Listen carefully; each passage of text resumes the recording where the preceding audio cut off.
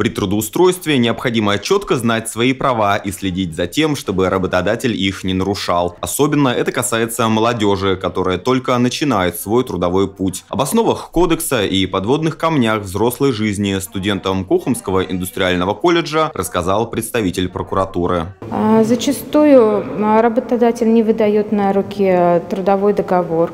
А, кроме того, бывают незаконные увольнения детей. Также медицинская поддержка со стороны работодателя должна быть.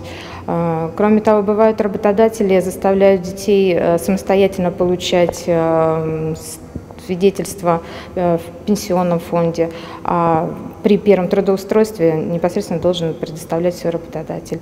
Прежде чем приступить к работе, необходимо получить на руки экземпляр трудового договора и внимательно с ним ознакомиться. На его оформление отводится не более трех дней. Если работодатель кормит завтраками или предлагает несовершеннолетнему испытательный срок, можно смело уходить. Кроме того, все расходы на оформление медицинских документов должна взять на себя компания. Платить за справки из своего кармана не стоит. Многие ребята устраиваются на работу, но в свободное от учебы время. А в основном они трудоустраиваются по направлению, которым обучаются. Это э, технологии продукции общественного питания, коммерсанты, э, цифровые инфотехнологии и так далее. Э, в каникулы, в выходные дни.